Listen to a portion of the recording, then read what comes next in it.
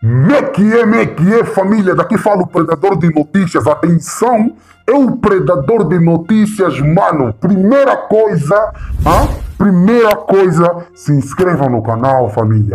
Ativa as notificações, compartilhe esse vídeo em todos os grupos de WhatsApp, Facebook e qualquer rede social, ok? E você também, internauta, passa a deixar seus comentários, tá a ver? Ou deixa like também para nós vermos se o conteúdo que nós estamos levando para vocês é de melhor qualidade, ok? Eu quero sugerir também uma cena para vocês, uma coisa simples, uma coisa top, uma coisa top, top, top, top. Vai na descrição do vídeo, tem lá o link do Instagram do Predador de Notícia, o link do Twitter do Predador de Notícia e o link do Instagram do canal MSTV, a TV, que vocês sabem chega até você e que não vos bajula, ok, família? Então, sem mais delonga, sem mais blá blá blá, vamos para o que interessa. Kamalata Numa responde ao general condenado Zé Maria. Tudo isso e muito mais você acompanha aqui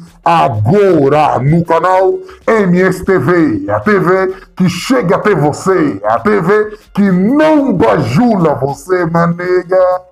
E a família, como eu disse no início do vídeo, já devem ter visto, vão ter que ver e ouvir de novo. É isto mesmo. Kamalata Numa responde o general condenado, enjaulado Zé Maria. Vocês estão a entender aqui como é que a coisa é, é difícil, hein? Vocês estão a entender?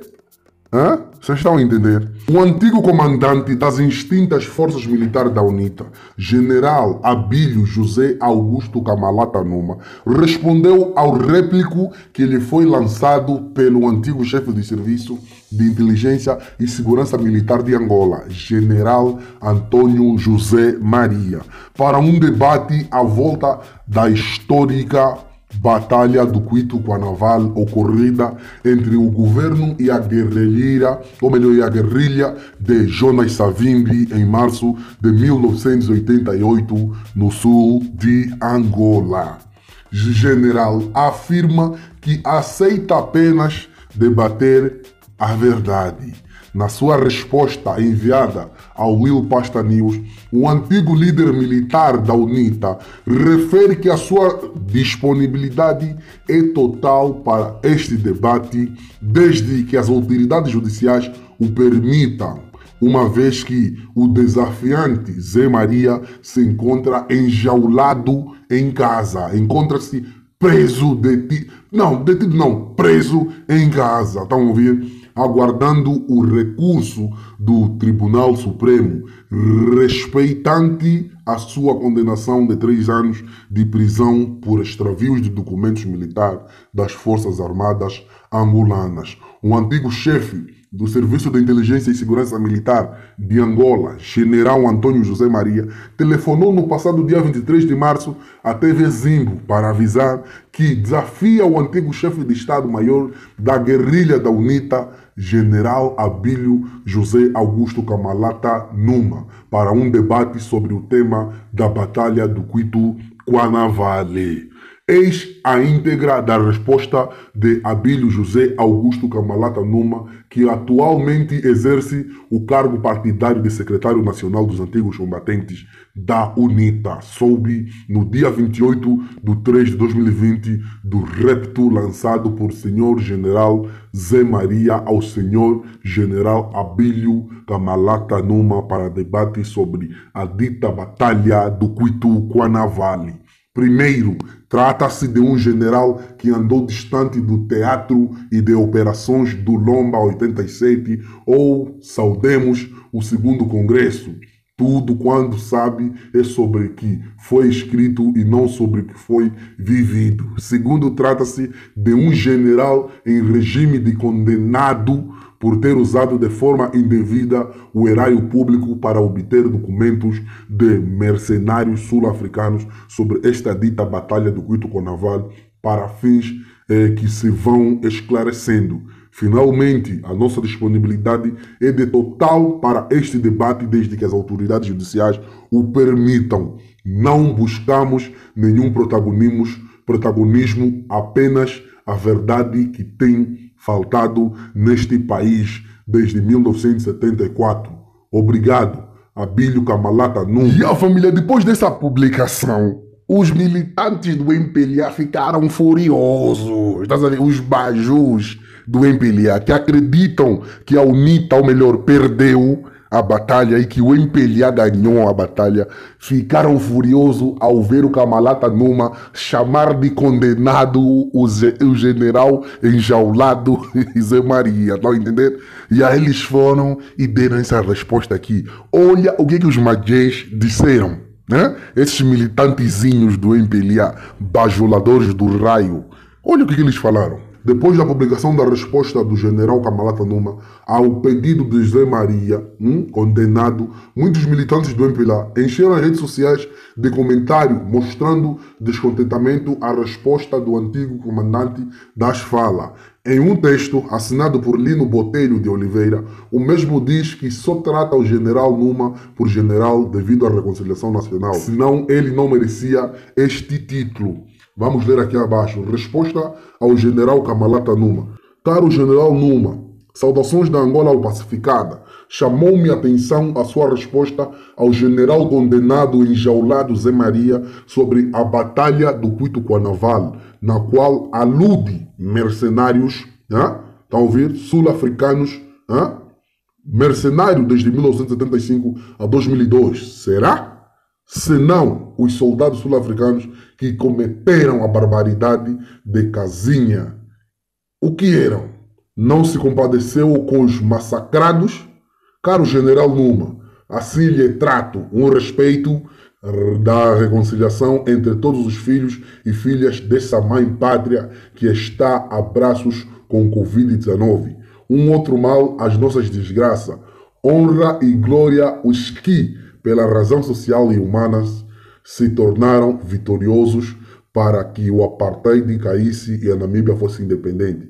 Viva Angola e os angolanos por Lino Botelho de Oliveira.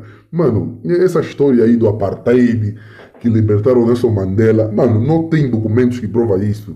Né? Os sul-africanos não falam disso. Senão um angolano deveria ser muito respeitado na África do Sul. Entendeu?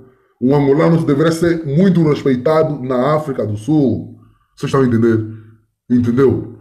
Oh, o MPLA fica aí a contar história, história que nunca existiram, história que nunca, não sei lá, família.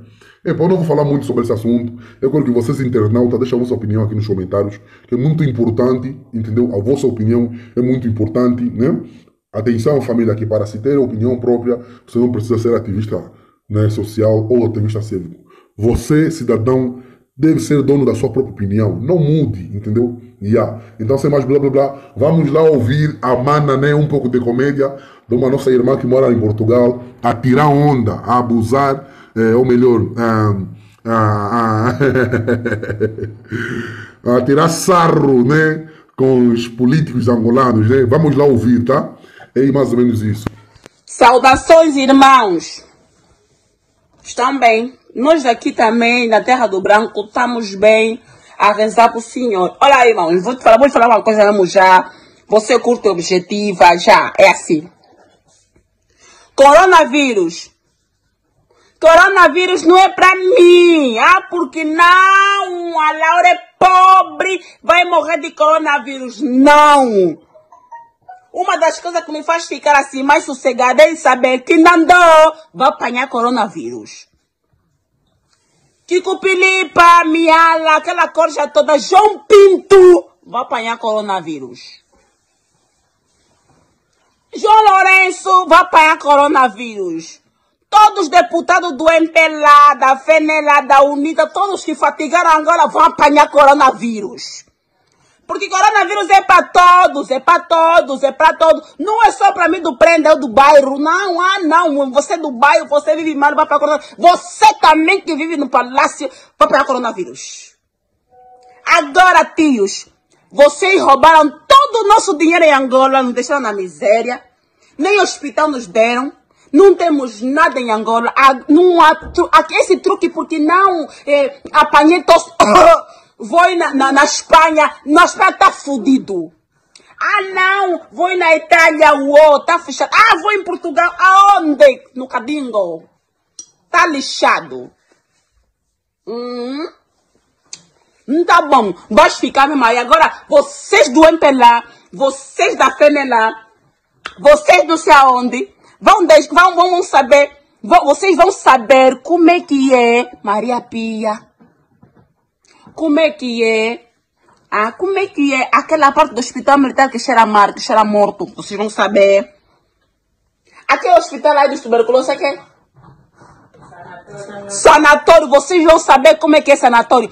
Porque vocês todos, deputados, todos, MPLA, UNITA, FENELA, e o MPLA frustrado, UNITA frustrado, FENELA frustrado, e os jovens frustrados que, que formaram é, Casa Sé, vocês todos, doentes do coronavírus, vão invadir as clínicas todas, vão invadir, são obrigados a ir para o hospital. Porque esse truque, porque, ah não, não tenho seguro, com o coronavírus você quer saber seguro? Ah não, eu também tenho seguro aqui em Portugal. Eu também, minha consulta na trofa, na trofa foi cancelada e pago bem. E você, Tatinho? Agora para vocês mesmo, Tinandô, Miala, aquele que é João Pinto, Manuel Vicente, Zeno, vocês que roubaram dinheiro da Angola e trouxeram aqui na Europa, tá fudido. Sabe por quê, meus irmãos? Deixa dar um golo no meu espumante para vos contar bem. É que este dinheiro que vocês trouxeram aqui está a ser usado para comprar em luvas. País onde nunca faltou luvas.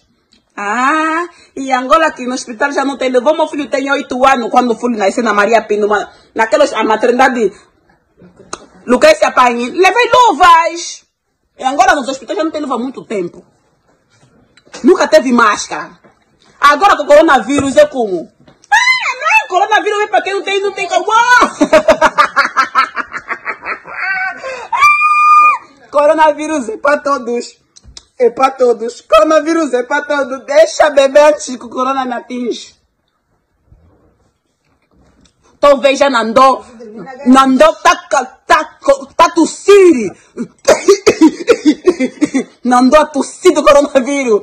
Já um pito. Família, o vídeo de hoje foi esse. Se você curtiu, mamene, não esqueça de deixar seus comentários, ok? De você curtir o vídeo e compartilhar com todos teus amigos no WhatsApp, Instagram, Facebook, ok? Todas as redes sociais. Compartilha o vídeo porque isso nos ajuda bastante, porque isso também é notícia. Você até pode ficar bem mal chateado, falando, ah, isso não é notícia, predador de notícia. Mas sim é notícia, porque você não sabia. Estás a saber aqui a partir do canal MSTV, a TV que chega até você, a TV que não bajula você. Ok, família? Então, sem mais blá blá blá, nos vemos no próximo vídeo, ok?